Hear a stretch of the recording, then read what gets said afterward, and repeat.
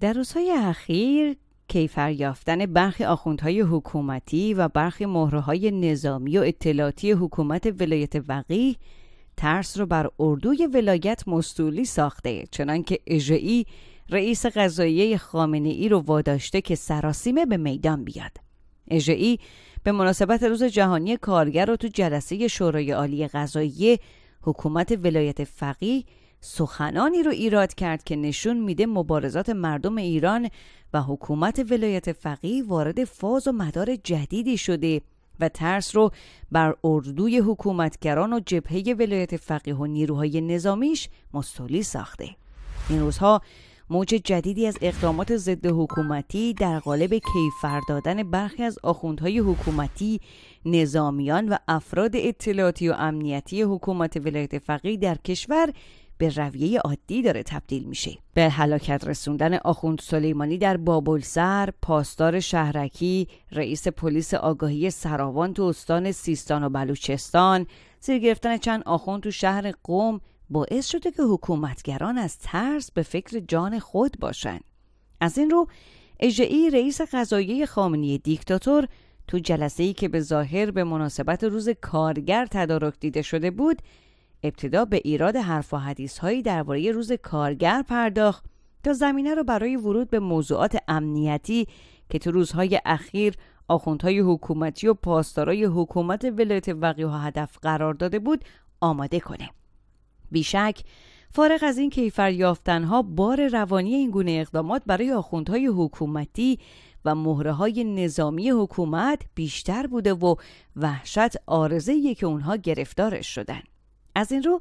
اجرایی برای تسکین دادن و تسلی دادن به این وحشت زدگان در ادامه عراجیف خودش و در حالی که ترس رو بروز می‌داد از همه مسئولان قضایی زیربط در سراسر کشور خواست در مورد تعقیب و محاکمه و مجازات زاربین و عاملین حوادث مزبور نهایت سرعت دقت و قاطعیت رو به خرج بدن.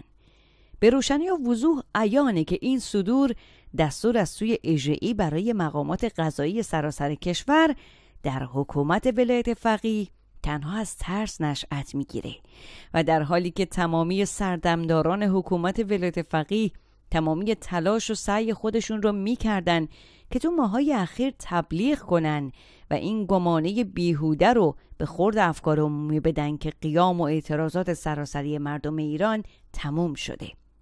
اما کیفر دادن آخوندهای حکومتی و پاسداران و اون هم به شیوه مسلحانه نشون میده که مبارزات ایران نه تنها خاموشی نپذیرفته بلکه رادیکالی شده و تو جایی که پاسخ اعتراضات مسالمت آمیز مردمی با سرب داغ توسط حکومت ولایت فقیه داده میشه مردم هم مقابله به مثل می‌کنن. اژهای در ادامه عراجیف خودش افزود که این اقدامات باید بدین منظور صورت بپذیره که دشمنان که برای به هم زدن امنیت کشور در حال توطعه چینی هستند بدونن که در این حوزه قاطعیت زیادی وجود داره. اژهای خواستار این شد که مسئولان قضایی کشور به صورت ویژه عمل کنن و پرونده های امنیتی و تو ردیف سایر پرونده های مورد رسیدگی قرار ندن. و برای تحقق این منظور افزود که در قوانین و مقررات قید شده که باید برخی پرونده ها رو به طور ویژه و خارج از نوبت مورد رسیدگی قرار داد. حرف اصلی مرما ای پس از این بر زبان جاری ساخت که در جای مدعی شد تو پرونده های ناظر بر تهدید امنیت مردم شما بخونید آخوندهای حکومتی و نیروهای نظامی امنیتی. چنانچه رسیدگی ها با تأخیر همراه بشه اون آثار بازدارندگی مناسب و مختزی پدیدار نمیشه. اونچه از عراجیف اجرایی برمیاد این واقعیت بدیهیه که قیام و اعتراضات بیش از هفت ماهه مردم ایران وارد فاز جدید و رادیکالتری شده و تو این مرحله آخوندهای حکومتی، پاسدارا و نیروهای نظامی، اطلاعاتی و امنیتی و نیروهای لباس شخصی حکومت تبدیل به سیبل جوانان شورشی و مردم به جان آمده شده و اونها رو به سزای اعمال خود میرسونن.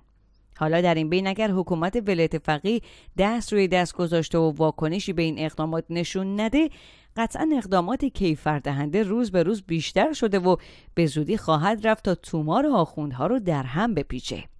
تمامی توصیه های اجرایی به سرعت و قاطعیت برای رسیدگی به پرونده های مزبور از این ترس ناشی میشه. اما در این بی باید به این واقعیت توجه داد که زمانی که جامعه شهروندی راههای مسالمت آمیز را آزمود و با بنبست مواجه شد قطعا راه به روش های رادیکال تری می برد و در این مرحله دیگه تلاش های حکومت مذبوحانه است. هفته ها و ماه های آتی گواه این ادعا خواهند بود. وحید بهشتی اظهار نظر وزیر امور خارجه بریتانیا را مبنی بر در دست گذاشتن گزینه تروریست شناختن سپاه راضی کننده ندونست و تاکید کرد تا زمانی که برای جنایتکار شناختن سپاه اقدام ملموسی انجام نشه به اعتصاب غذای خودش ادامه میده. جیمز کلورلی وزیر امور خارجه بریتانیا در نشست پارلمان در پاسخ به پرسش نماینده محافظه کار درباره 69 مین روز اعتصاب غذایی وحید بهشتی با خواست جنایتکار شناختن سپاه گفت ما کل سپاه و به طور خاص برخی از رهبران اون رو تحریم کردیم و همیشه اقداماتی رو انجام خواهیم داد که معتقدیم به نفع امنیت شهروندان بریتانیایی در داخل و خارج از کشوره. اون افزود ما همیشه گزینه ها رو در دسترس و تحت بررسی نگه میداریم. وزیر خارجه بریتانیا با ابراز نگرانی از سلامتی وحید بهشتی خواستار پایان یافتن اعتصاب غذای اون شد. وحید بهشتی در واکنش به این اظهارات وزیر خارجه گفت با توجه به تقاضای این همه نماینده پارلمان تظاهرات مسالمت‌آمیز هزاران شهروند بریتانیایی برای این خواسته و وجود کوهی از مدارک در اثبات جنایتکار بودن سپاه چنین پاسخی در چنین مقطعی رضایت بخش نیست وحید بهشتی تاکید کرد تا زمانی که برای جنایتکار شناختن سپاه اقدام ملموسی انجام نشه به اعتصاب غذا مقابل وزارت خارجه ادامه میدم. بیشتر 125 نماینده احزاب مختلف پارلمان بریتانیا در نامه از ریشی سوناک نخست وزیر این کشور خواسته بودند سپاه رو در فهرست سازمانهای جنایتکار بذاره.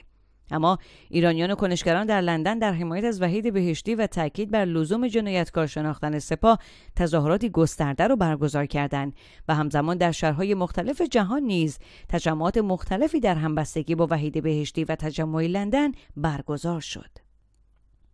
خبرگزاری فارس از پلم به یک فروشگاه در قزوین و بازداشت فروشنده خبر داد و علت آن را پیشنهاد تخفیف 15 درصدی این مغازه به مشتریان مخالف حجاب اجباری اعلام کرد. گزارش شده که با حضور حکیمیان بازپرس ویژه افاف و حجاب دادسرای مرکز استان قزوین در این مرکز تجاری فروشنده بازداشت و واحد سنفی پلم شده دو هفته های گذشته نیروهای حکومتی به بهانه بیهجابی اقدام به پلم صدها مرکز کسب و کار و فعالیت اقتصادی مردم کردند که معیشت هزاران نفر را تحت تاثیر قرار داد. با وجود این زنان و دختران ایرانی با برداشتن حجاب اجباری و نیز فروشندگان با استقبال از مشتریان بدون حجاب سیاست سلطه‌گرانه جمهوری اسلامی در زمینه حجاب رو به چالش کشیدند. فروشگاه گرند کیدز واقع در مجتمع تجاری اوپال بلافاصله پس از فک پلوم در اینستاگرام خود استوری منتشر کرد و در آن اعلام کرد به مناسبت بازگشایی به تمام عزازانی که امروز بدون حجاب اجباری به صورت حضوری از فروشگاه خرید کنند 50 درصد تخفیف تعلق می‌گیره.